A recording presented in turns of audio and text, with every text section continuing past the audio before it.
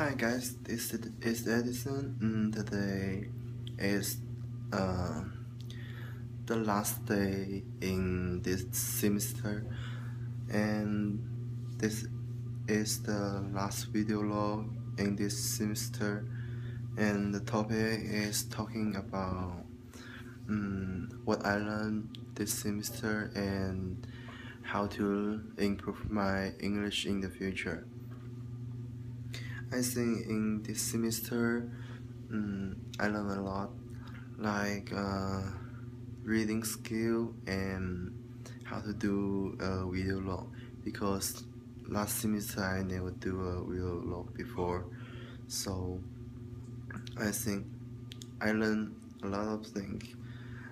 Uh, for the writing and the grammar, I think grammar is okay for me because um, before in China I already learned it.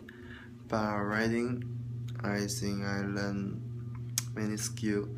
Uh, so I think this is a good thing for me. And this semester I think uh, the best part is I have uh, some class uh, can go uh, can join with the uh, classmate because this semester I always got sick. Mm, maybe I think it's the temporary change. So this semester I got like three or four sick. Mm, but I think it will be better next semester.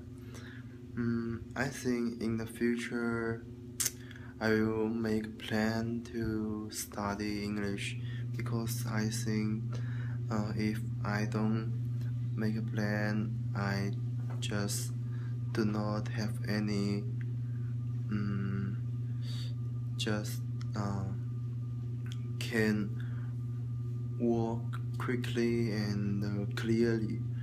Um, because I think sometimes I just spend many time want to study, but usually uh, study time just a little bit. So I want to change.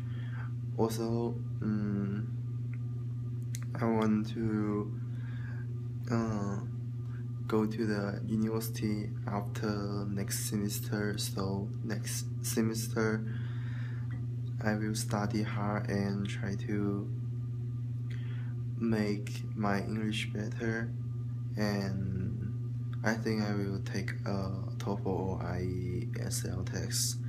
Mm, that's it. Thank you.